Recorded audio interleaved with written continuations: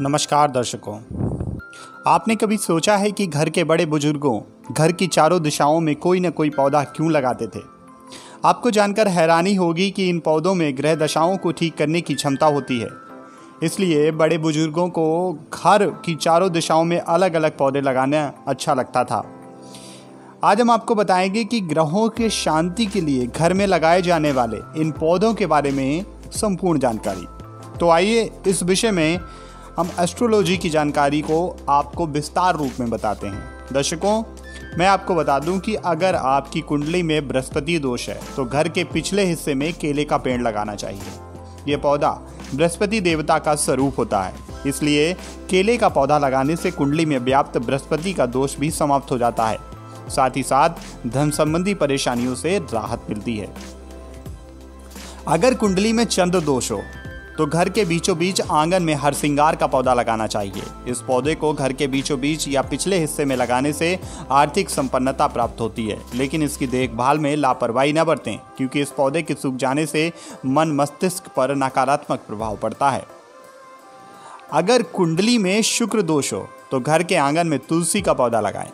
ऐसा करने से घर में नकारात्मक ऊर्जा दूर हो जाती है और सकारात्मक ऊर्जा का संचार होता है। साथ ही घर परिवार के सभी सदस्यों के जीवन में सुख समृद्धि का वास होता है। ध्यान रखें, जिनका शुक्र ग्रह कमज़ोर है, उन्हें नियमित रूप से शाम को तुलसी के आगे दीप प्रज्वलित करना चाहिए।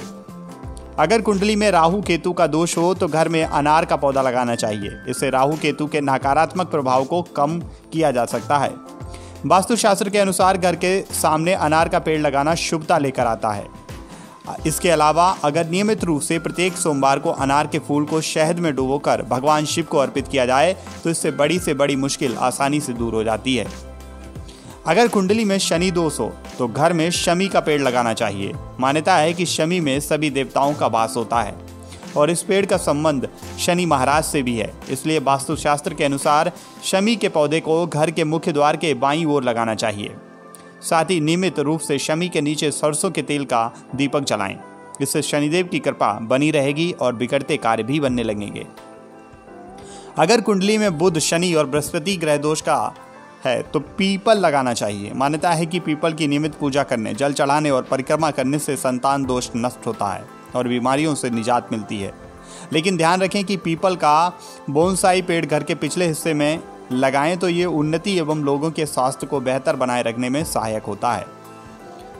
अगर कुंडली में सूर्य और मंगल का दोष हो तो घर में गुड़हल का पौधा लगाना चाहिए। ये पौधा सूर्य और मंगल ग्रह से जुड़ा है। मान्यता है कि मंगल ग्रह को प्रसन्न करने के लिए पवन सुत को गुड़हल का फूल अर्पित करें।